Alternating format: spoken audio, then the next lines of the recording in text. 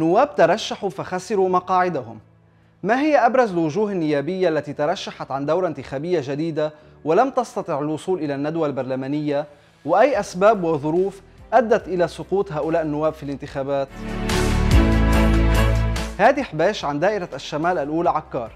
ترتبط ظروف وعوامل عدم القدرة على العبور إلى ندوة البرلمانية مجددا في غياب الماكينة الانتخابية المركزية لتيار المستقبل إضافة إلى استفادة التيار الوطني الحر من هذا الواقع. سامي فتفت عن دائرة الشمال الثانية طرابلس المنية والضمنية. ترتبط عوامل عدم النجاح بالوصول إلى الندوة البرلمانية مجددا بطبيعة اللائحة التي آه، شكلها مصطفى علوش وسامي فتفت مع الاعتماد على مرشحين قويين في كل من المنية والضمنية وهذا ما أدى بطبيعة الحال وبحسب القانون الانتخابي الحالي إلى حجز المقعد الأول في اللائحة آه، من نصيب آه، مقعد المنية ما أثر على الواقع التنافسي في طرابلس إضافة إلى اعتبار مرشح الضمنية الذي نافس فتفت على المقعد في اللائحة نفسها مرشحا قويا لجملة اعتبارات متعلقة بقدراته المادية. فيصل كرامي عن دائرة الشمال الثانية طرابلس. ارتبطت أسباب خسارة كرامي للانتخابات بالمرشح رامي فنج عن القوة الثورية. وقد استفاد فنج بطبيعة الحال من أصوات اغترابية كثيفة ضخت له أصواتا أدت إلى الإطاحة بكرامة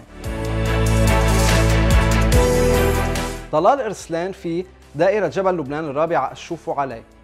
ارتبط سقوط إرسلان وعدم قدرته على العبور إلى ندوة البرلمانية مجددا بضعف حالته الشعبية وترشحه عن المقعد الدرزي الثاني الذي يعتبر مقعدا ضعيفا آه، في ظل اعتباره المرشح الأساسي عليه.